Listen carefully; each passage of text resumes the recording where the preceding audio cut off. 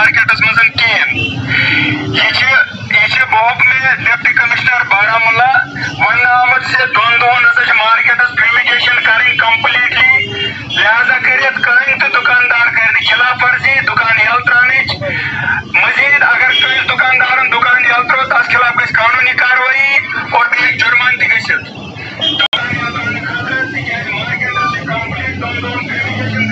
असलम नाजरीन, आप जुड़ चुके हो गुलिस्तान न्यूज़ के साथ। मैं हूँ राही निसार। अगर डिस्ट्रिक्ट बारामूला की बात करें तो लगातार यहाँ पे जो पॉजिटिव मामले सामने आ रहे हैं, उसी को यहाँ पे मद्देनजर रखते हुए डिप्टी कमिश्नर बारामूला ने बारामूला वहाँ पे फ्यूमिगेशन करवाया। उसी दूसरी या जानब, आज बाबा तौर पर हुक्मनामा जारी हुआ, जिसमें कहा गया है ग्यारह और बारह तारीख को पटन और बारह सोपोर यहाँ पे मुकम्मल तौर पर बंद रहेगा।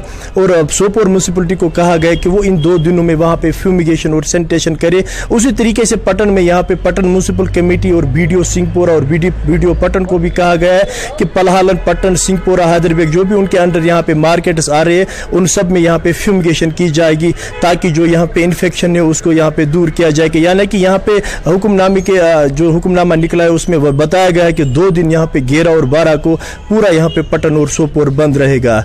राही निसार, गुलिस्तान न्यूज़ पटन